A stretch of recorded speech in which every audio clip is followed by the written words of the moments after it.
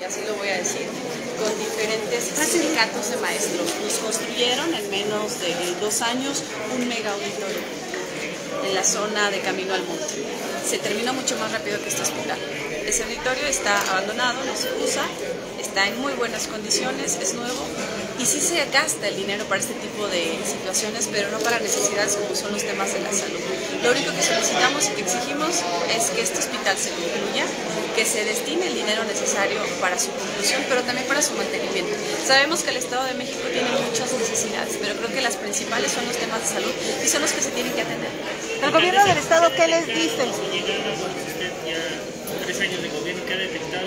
¿Qué, recibió? ¿Qué les tiene Nosotros tenemos toda la documentación. Cada tres años eh, se, se hizo el convenio de la donación del predio gobierno del Estado, la parte del área de patrimonio, tuvo que haber hecho eh, los trámites ante, ante el IFREN para poder tener el predio. Se les pasó, todos los acuerdos de Cabildo concluyen después de los tres años y se tiene que volver a reiniciar el procedimiento porque no se llevaron a cabo los trámites. Entonces, ahorita nos solicitan que volvamos a hacer la donación del espacio y todo eso.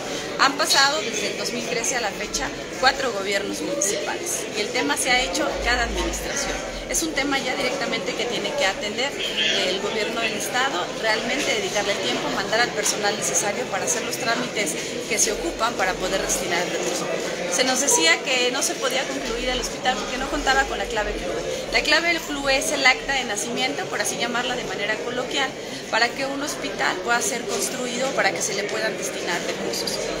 ¿Cómo se le destinaron 350 millones de pesos en el periodo de Miguel Ávila si no contaba con una clave CLUE? ¿Qué pasó con ese dinero? ¿Quién lo auditó? ¿De qué manera se ejecutó ese, ese recurso y ese procedimiento administrativo que se llevara a cabo para poder destinar ese dinero?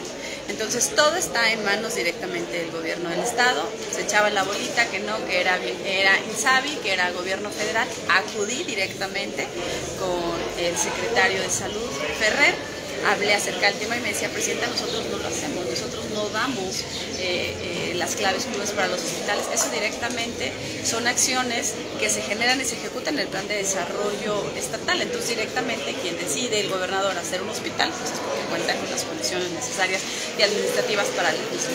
Y no se llevó a cabo. Entonces ya tocamos todas las puertas necesarias, todas las instancias y la verdad es que nosotros no vamos a descansar hasta que este hospital sea una realidad. Y no es un tema de capricho, no es un tema de un político, es una necesidad social que se tiene que atender.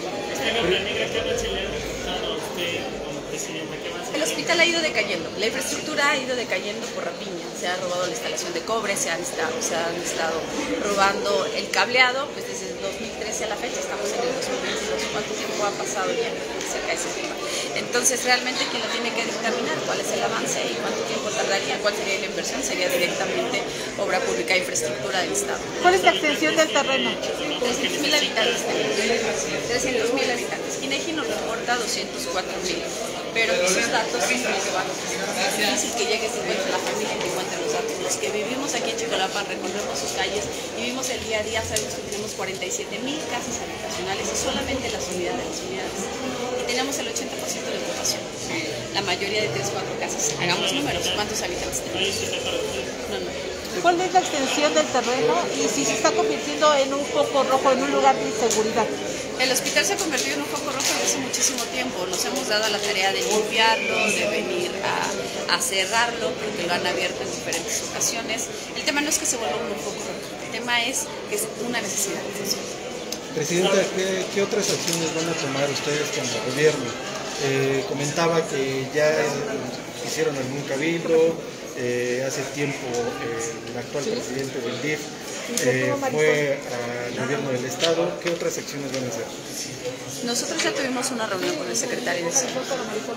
Ya tuvimos una reunión, ya platicamos con él acerca del tema, nos volvieron a solicitar toda la documentación, tuvimos un plazo y lo que yo estoy haciendo es recuperar toda la información necesaria para decir, a ver, no te hace falta nada, aquí está.